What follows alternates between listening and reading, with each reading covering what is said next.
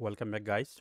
I hope all of you will be fine. So this is question 4.50 of chapter 4 and the statement of this question is for a laboratory assignment if the equipment is working the density function of the observed outcome x is basically given by this density function which is f of x equal to 2 1 minus x for the values of x greater than 0 and less than 1 and 0 elsewhere okay find the variance and standard deviation of x okay? So as we have seen in our previous question we can write the solution here that in previous question we have seen that the variance of any variable x can be found out by finding the expected value of the x square and subtracting from it the square of the expected value okay? So this is the main formula or main equation which we have been using since our previous question okay? And this is also very important because this is the easiest way to find out the variance. And once when we will find out the variance the square root of this variance would be the standard deviation okay? So let us first find out the value of e of x okay? So as we can see that this is a continuous random variable. So therefore in order to find the value of the expected value here the random variable here is x. The density function of it is f of x. So we have to integrate it within the limits with which this is given. So it is from 0 to 1 okay? So let me find the values here okay so it is from 0 to 1 the value here is x and the value of f of x is 2 1 minus x and this is d of x okay? So this 2 is constant. This is 0 to 1 this would become what? x 1 minus x d of x okay? Also here it would be 2 and it would also be 0 to 1 okay? And here it would become x minus x square d of x okay? Let me continue it here. This would be here. So here it would become e of x is 2 let me close it here so it would become taking the integral of all the values here. We would get 0 to 1 x of dx and also here minus 0 to 1 x square d of x okay? Also 2 the integral of x would be x square divided by 2 and it is from 0 to 1 minus the integral of x square is x cube divided by 3 0 to 1 okay so we would get here 2 putting these limits here which is very easy.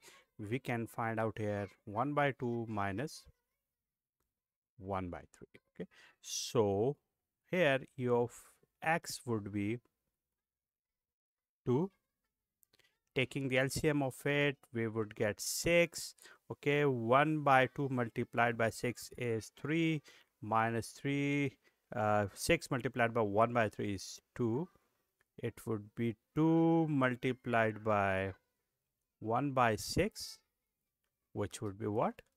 Which would be 1 by 3 and that is what? That is for the expected value of x okay? So we have found out that the expected value of x is here. Similarly now let us find out the value of e of x square. Let me move down somehow. And the value of e of x square would be what? The same formulation just we have to do what? Here we have to write x square okay so writing x square here and all the formulation would be the similar ones so here uh, writing x square and then integrating them all just like here. So let me use this one here okay? So let me use this one here. Instead of this x we have to write x square. So what would we get here? This 2 will be here. It would be x square and 1 minus x d of x okay? So i hope you have understood that why i have written here x square instead of x because here it was first x of x f of x. Now in order to find out the value of ex square we have here from 0 to 1 x square f of x dx okay? So therefore simplifying it we will ultimately get this one okay? So now it would be 2 0 to 1 x square minus x cube d of x okay or taking the integral of both of them okay because this is the linear operation. So we would get what? It would be x cube divided by 3 from 0 to 1 minus x4 divided by 4 from 0 to 1 okay similarly here we would get putting these limits here it would become 1 by 3 minus 1 by 4 okay so 2 taking the LCM it would be 12 so 12 multiplied by 1 by 3 so we would get here 4 minus 3 here. Okay so 2 multiplied by 1 by 12 which will ultimately be what let me move down somehow here as well. So it would be 1 by 6 and this is what? E of x square okay so that is for the e of x square now we have the values of e of x square and e of x. Let me put them all here okay in this equation. Let me use this green color for it. So the variance of x would be e of x is e of x square is what? This is 1 by 6 okay let me confirm it. Yeah this is 1 by 6 so this is 1 by 6 minus e of x is 1 by 3 so the square of it here. Okay so here 1 by 6 minus 1 by 9 okay? So ultimately the answer of it would be what? So the answer of it would be 1 over 18 which we can check ourselves as well okay?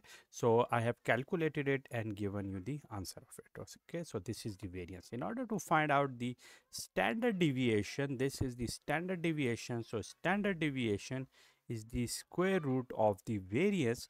So therefore it would be the square root of 1 by 18 because 1 by 18 is the value of the variance. So finding it out what would we get? It would be 0 0.23 0.236 okay? And that is what?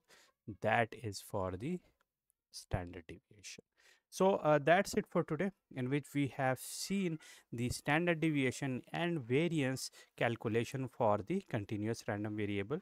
If you have any question you can ask me in the comment box. See you soon